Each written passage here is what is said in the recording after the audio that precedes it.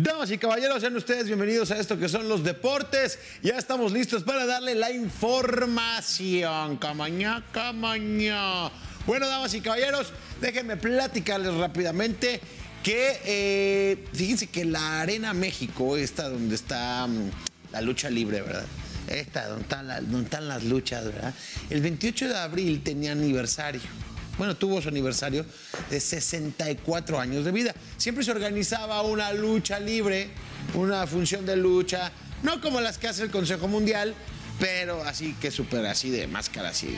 Pero iba a haber una, una fiesta de aniversario para celebrar esta, este gran recinto de lucha libre que es la Arena México que cumplía 64, 64 años, fíjate nomás, 64 años viendo pasar la lucha libre. Qué bonito, ¿no? Qué bonito es eso, 64 años, pero pues no, no fue así, no lo hicieron este año por la situación del coronavirus y este... Esto se inauguró en aquel 1957. El santo y el médico asesino protagonizaron eso, el emotivo acontecimiento, protagonizaron el emotivo acontecimiento enfrentándose a Blue Demon y Rolando Vera. ¿Rolando qué? Vera. Rolando Vera, porque había otro que se llamaba Rolando Mota, pero ese es otro. A partir de ese momento, pues ya estuvo la Arena México, que, que cuando tú vas ahí está increíble, ¿eh? Está, la verdad te la pasas increíble, te la pasas muy bien. Entonces, bueno, esto, esto pasó, pues vamos a ver, vamos a ver si cuando regresen los deportes por ahí de agosto, septiembre, hacen la, la lucha de, de aniversario de la Arena México. Bueno, vámonos al fútbol americano porque hay una historia que está dando la vuelta al mundo en este momento. Usted recuerde, el proyecto se llama así, se llama el documental Proyecto 11. ¿Y qué es esto? Usted recordará al coreback Alex Smith, este coreback que tenía el número 11 en los 49ers y que sale de los 49 porque llega a los 49 Colin Kaepernick. De ahí, Alex Smith se va nada más y nada menos que a los jefes de Kansas City. Y de ahí de los jefes de Kansas City se va, porque pues llegó Mahomes, ¿no? Llega a los Redskins Washington. Y en el 2018, en el 18 de, el 18 de eh, noviembre del 2018, se lesiona a Alex Smith una fractura en la pierna. El asunto no es ahí, ahí vemos cómo va saliendo, ¿no? El asunto no es ese. El asunto es que Alex, Alex Smith le entró una bacteria en la pierna. Y esa bacteria estaba a punto de quitarle la vida y de, o de que le quitaran la pierna.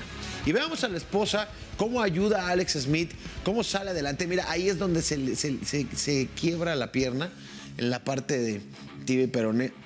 Pero cuando le entra la, la bacteria, ya eh, le daban por perdido. Bueno, el señor Alex Smith en este momento ya está recuperado, ya está entrenando y está pensando que para el 2021 pueda volver a jugar. Si este señor vuelve a jugar a nivel profesional, es un milagro, señores. Un milagro y las ganas de salir adelante. Deben de ver, de verdad, la pierna de Alex Smith, cuando ustedes la ven con la bacteria, es una cosa que dices, güey, no, no, no se va a curar. No, no, no, no hay forma. O sea, ¿cómo va? No hay forma en cómo lo haga Alex Smith. Y creo que su mayor partido y sus mejores estadísticas es esta recuperación que ha tenido. Vean este proyecto, Proyecto 11 se llama este documental que ha sacado ESPN. Pero bueno, hablando más de la NFL, recordemos y hablábamos mucho de Andy Dalton. Ya hace algunos días ya dijeron a qué equipo se va este ex quarterback de los Bengalíes de Cincinnati. Todo el mundo estaba diciendo que para los Patriotas, otro que a Jacksonville. No, se fue al menos esperado. Y de suplente aparte. Bueno, quién sabe. Se fue a los Vaqueros de Dallas.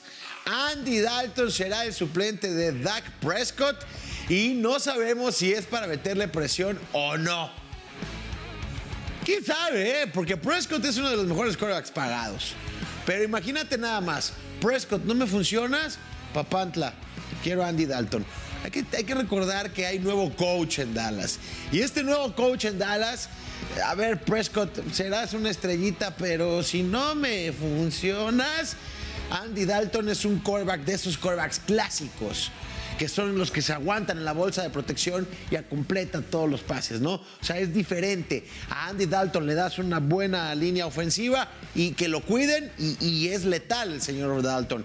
Entonces, eso me suena que Prescott puede peligrar si no la arma el señor, ¿eh? Abusados, abusados, abusados. Oigan, y el coreback, el nuevo coreback, el nuevo estrella de los Delfines de Miami, el que fue elegido en la primera ronda del draft.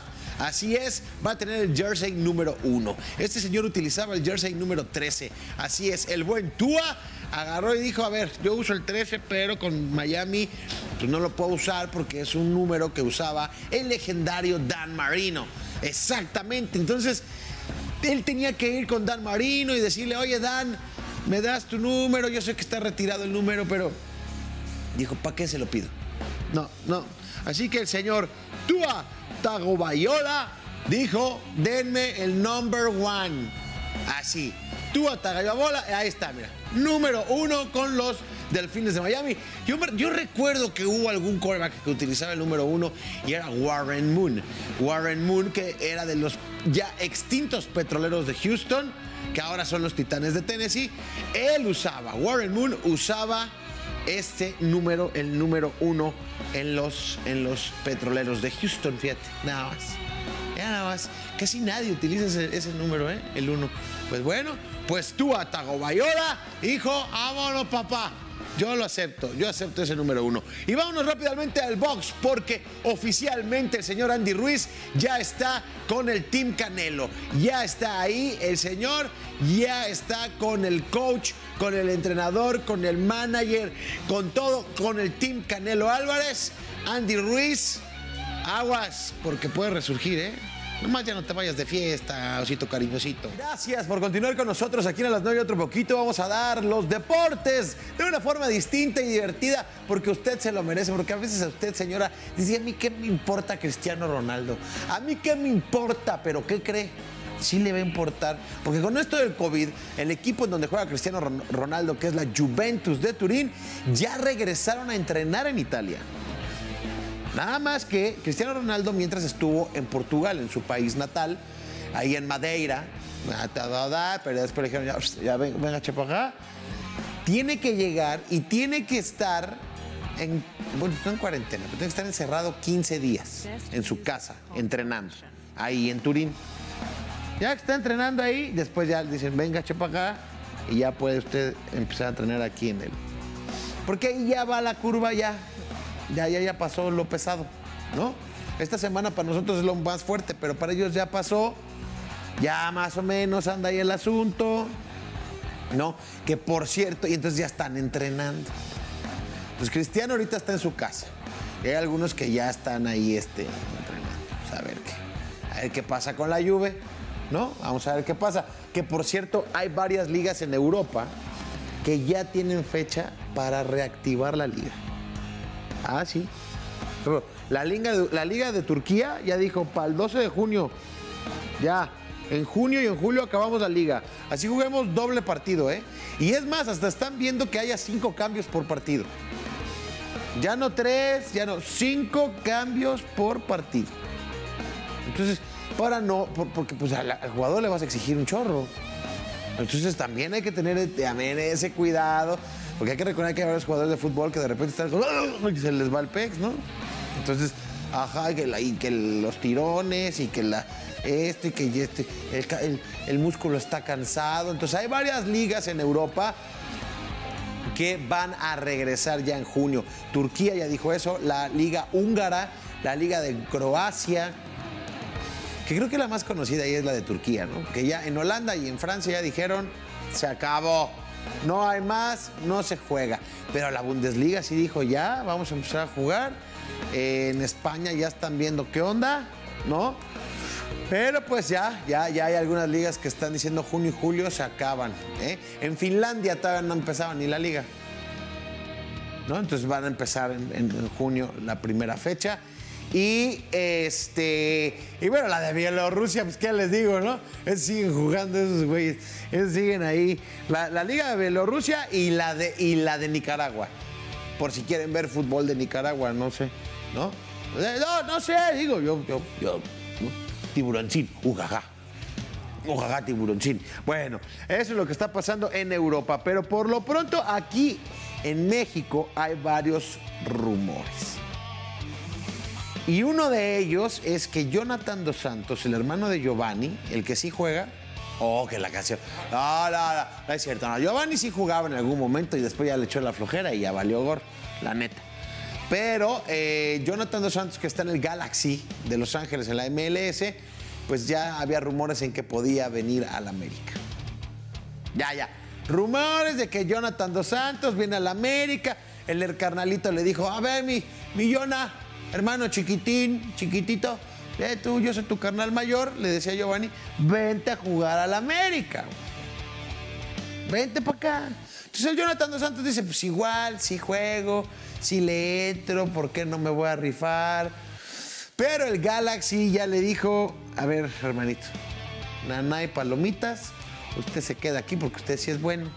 Porque su hermano lo trajimos, nomás hizo puro desbarato justo aquí. O sea, sí jugó bien al principio, pero después ya, ya no la armó. Y a pesar de que Jonathan Dos Santos y el América han acumulado rumores de su posible llegada a Cuapa, el Galaxy no dejará que su capitán se vaya. Aparte es capitán del Galaxy. O sea, todavía estaba Zlatan Ibrahimovic y todo. Y con Zlatan estuvo ahí el señor Jonathan Dos Santos. Y hay que recordar que Jonathan también salió del Barcelona, ¿eh? También salió de allá. Y jugó también en otros equipos en Europa. Bien, y ya se vino el Galaxy a hacer lana. Porque está chavo. Está chavo el Jonathan. Y Jonathan Dos Santos es un muy buen contención. La verdad, para la selección mexicana es muy bueno. Él nunca bajó su ritmo de juego, nunca lo bajó. Siempre ha estado ahí constante, constante, constante. Y sí, de repente fiesterón y eso, pero, pero constante, ¿sabes? A mí se me hace que todavía mejor que el borreguito este, torrado, que era de los, de los rudos. Todavía mejor que torrado. Pero Jonathan dice, pues si quiere ir a la América también, no, bueno. El Galaxy le dijo, no, pues si tú aquí eres estrella, papá. Si tú aquí eres la buena onda, o sea, ¿qué te pasa?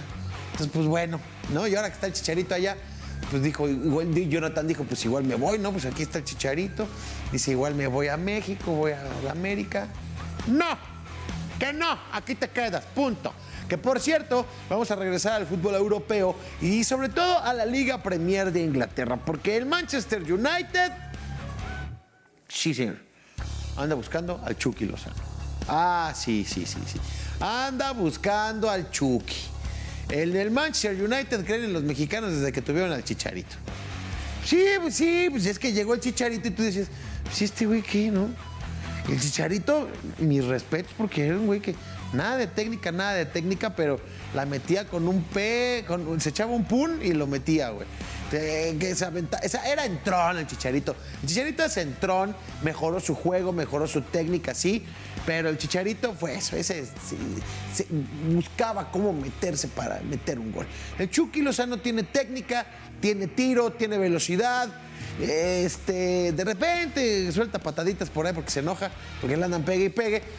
Pero el Chucky Lozano en Italia no le está yendo nada bien, Gattuso no lo quiere y entonces ya tiene dos ofertas, la del Everton de Inglaterra y el Manchester United, que dice, si el Chicharito nos metía goles, este güey, puta, si lo sabemos llevar bien, lo va- va a hacer muy bien, nada más que hay que ver si Ancelotti, que es el que va a dirigir al Everton de Inglaterra, pues deja que se vaya al Manchester. Porque hay que recordar que Ancelotti fue el que llevó al Chucky Lozano al Nápoles de Italia y se lo quiere jalar al Everton. Hay que ver. Hay que ver qué decide el Chucky Lozano.